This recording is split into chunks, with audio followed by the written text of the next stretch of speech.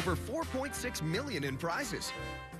Is your employer throwing a holiday party? Perhaps you've already had the big bash, or maybe you're heading out to one next weekend. Well, despite the tough economy, according to a new poll, the majority of workplaces in BC are throwing parties this year.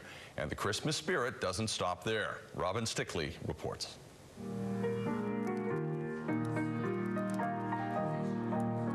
It's the first Christmas celebration in four years at Vancouver's Rosewood Hotel, Georgia, closed since 2006 for restoration.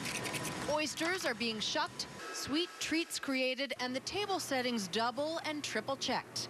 Every banquet room and hall here is booked day and night. During the economic uh, downturn, yes, there definitely was a, a, setback, but now I think people saved uh, during this year, and uh, of course, Christmas comes along. People want to uh, go out for dinner, they want to go out to cocktail, uh, reception, and that's what we're seeing. And then come January, there, people are going to start booking again for uh, Christmas of 2012, and we're already getting calls today for next Christmas.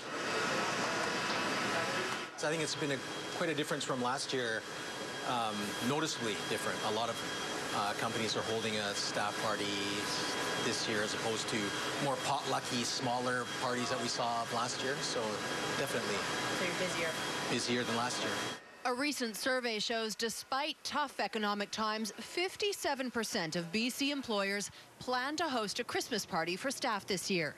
At TELUS, 1,700 employees indulge in Christmas cheer with their colleagues. And while they do pay a fee to attend, the company says it's an important team builder.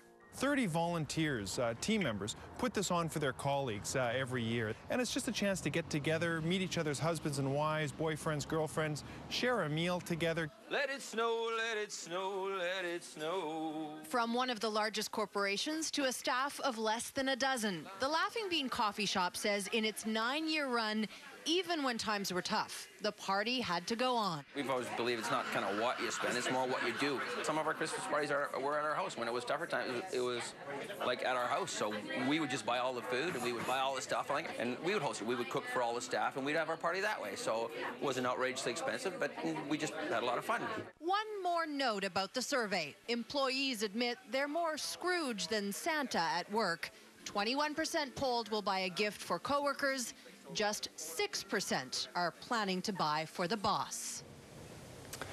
In health news tonight, life-saving equipment has now been installed in community centers.